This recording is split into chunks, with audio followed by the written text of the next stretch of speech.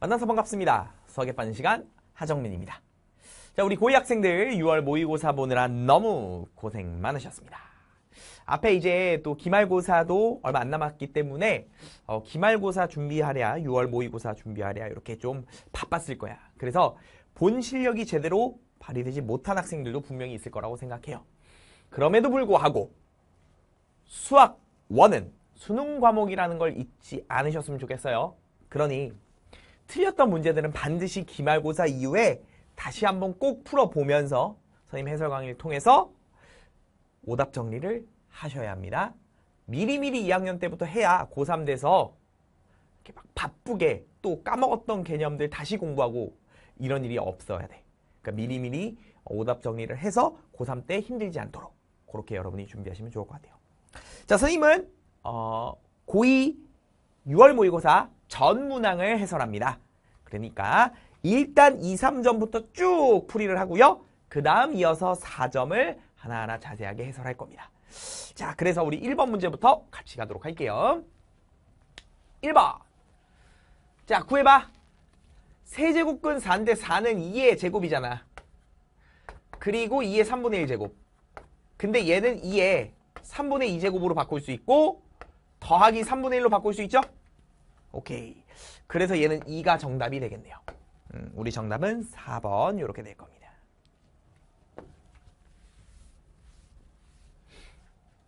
(2번도) 가봅시다 로그의 성질 로그의 덧셈 밑이 똑같거든요 밑이 똑같으면 로그의 덧셈은 진수끼리의 무슨 셈? 곱셈이더라 이렇게 들어오겠죠 그럼 83, 24 9가 될 테니까 로그 3의 9는 또 2가 되겠네요 어. 그래서 우리의 정답은 2번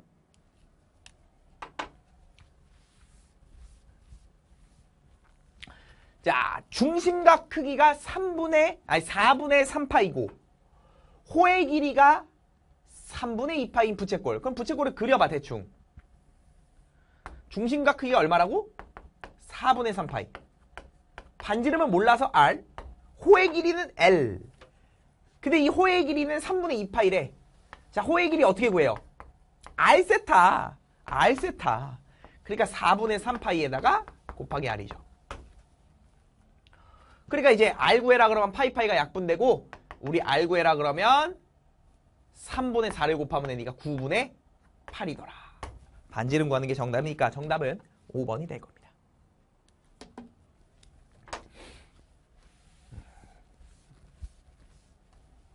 4번. 아, 요거 해 찾아달래요. 선생님, 얘는 코사인 x가 마이너스 2분의 1 되는 거 아니겠어? 그럼 코사인 그래프랑 마이너스 2분의 1 되는 걸 찾아주면 되는데 코사인 그래프가 또 어렵지 않은 게 스르륵 요렇게 생겨요. 잠깐! 여기가 파이고 아이 sorry 여기가 2분의 파이고 여기가 파이 걸라? 근데 문제는 0부터 파이까지만 보래. 그러니까 사실 요 뒤는 안 봐요. 그리고 마이너스 2분의 1 되는 거니까 이렇게겠죠? 마이너스 2분의 1. 여기가 마이너스 2분의 1. 그럼 코사인과 마이너스 1, 2분의 1이 만나는 요점. 요점의 x값이 정답이고요. 얘들아 요건 외워야 돼.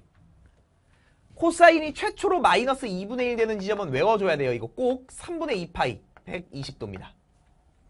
알겠죠? 코사인이 최초로 마이너스 2분의 1이 되는 순간은 120도 3분의 2파이예요. 양수 쪽에서. 그래서 그냥 가볍게 정답은 3분의 2파이 이렇게 처리하시면 되고 만약에 내가 이걸 못 외웠다 하더라도 잘 봐. 마이너스 2분의 1이 되는 여기 있는 값을 찾고 싶은데 내가 마이너스 2분의 1을 찾으려면 몰라 만약에 그러면 대칭시켜서 찾죠. 2분의 1이 되는 라인. 그렇죠? 그러니까 2분의 1 되는 걸 먼저 찾아 여기. 그럼 코사인이 2분의 1 되는 건 몇 도라는 걸 알아요? 60도라는 걸 알죠? 3분의 파이. 여긴 3분의 파이야. 근데 코사인은 분명히 대칭되어 있어요. 그러니까 요점에 대해서 분명히 대칭되어 있다고. 그러니까 자 우리의 정답은 2분의 1 마이너스 2분의 1에서 요 길이랑 요 길이랑 완벽하게 동일해요. 그리고 다시 와봐. 봐. 여기가 2분의 파이라는 걸 알고 있잖아? 그러니까 요 길이가 얼마야? 6분의 파이.